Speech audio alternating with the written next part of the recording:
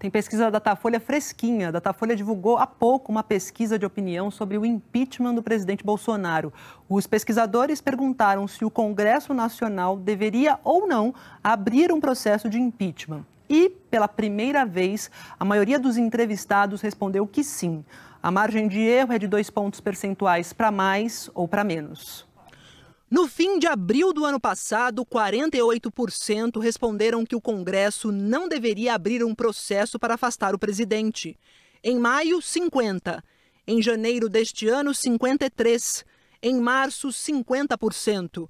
Em maio, 46%. E agora, os que responderam que não deveria foram 42%. Na primeira pesquisa, 45% disseram que o Congresso deveria abrir um processo de impeachment. Em maio do ano passado, 46%.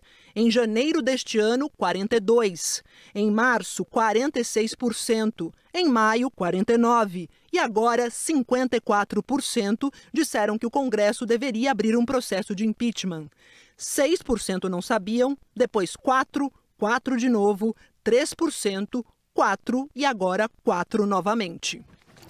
A edição eletrônica do jornal Folha de São Paulo publicou ontem outros itens da pesquisa com opinião dos brasileiros sobre a atuação dos governantes na pandemia. Esses números também estão na edição impressa do jornal de hoje. Começamos então com a avaliação do desempenho do presidente Jair Bolsonaro no combate ao coronavírus. Em março do ano passado, 35% avaliavam o desempenho de Bolsonaro em relação à pandemia como ótimo ou bom. Depois, 33%. 36%, 27% nas três pesquisas seguintes, 30% em agosto e em dezembro, em janeiro, 26%, em março, 22%, em maio, 21% e agora 22%. Na primeira pesquisa, 26% consideravam como regular o trabalho de Bolsonaro nesse tema. 25% em abril, depois 23, 25, 22, 23, 25, 27, 25, 24, 27 e agora 21%. 33% avaliavam o desempenho do presidente com relação à pandemia como ruim ou péssimo em março do ano passado. Na sequência, 39, 38, 45, 50, 49, 43, em dezembro 42, em janeiro 48, em março 54, em maio 51 e na nova pesquisa 56%. Não sabem. 5, depois 2, 3, 3 de novo, 1% nas quatro pesquisas seguintes, 2 e 1% não sabe nas três últimas pesquisas. O Datafolha perguntou sobre a atuação dos governadores no combate ao coronavírus. Em março do ano passado, 54% dos entrevistados avaliavam o desempenho do governador do seu estado como ótimo ou bom. No começo de abril, 58. No meio de abril, 54. 50 em maio, 44 em junho, em dezembro, 41, em janeiro deste ano, 42, 34 em março, 35% em maio e agora 40%. 28% avaliavam o desempenho dos governadores como regular em março do ano passado. Depois, 23, 24, 24 novamente, 26, 28, 30 em janeiro e em março, 35% em maio e na nova pesquisa, 32%. Em março e abril do ano passado, 16% avaliavam como ruim ou péssima a atuação dos governadores.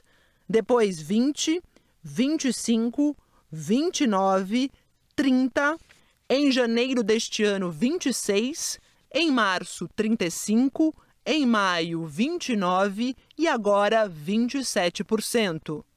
Não sabem. 3, 2, 2 de novo.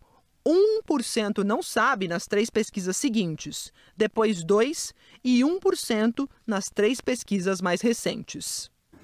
Agora, a avaliação sobre o desempenho do Ministério da Saúde, que atualmente é comandado por Marcelo Queiroga. Em março do ano passado, quando Luiz Henrique Mandetta era um ministro, 55% avaliavam o desempenho como ótimo ou bom. No começo de abril, 76%. No fim de abril, já com Nelson Teich como ministro, o percentual caiu para 55%. No fim de maio, com Eduardo Pazuello no ministério, 45. Depois, 33. 37. Em dezembro e janeiro, 35. Em março, no fim da gestão Pazuello, 28%. Em maio, já sob o comando de Marcelo Queiroga, 30. E agora, 34%. Na primeira pesquisa, na gestão Mandetta, 31% avaliavam o desempenho do ministério como regular. No começo de abril, 18. No fim de abril, com Taixe, 26. Em maio, com Pazuello, 32. Depois, 31, 30, 36, 34. No fim da gestão de Pazuello, 32. Já com Queiroga, 37 e agora 34.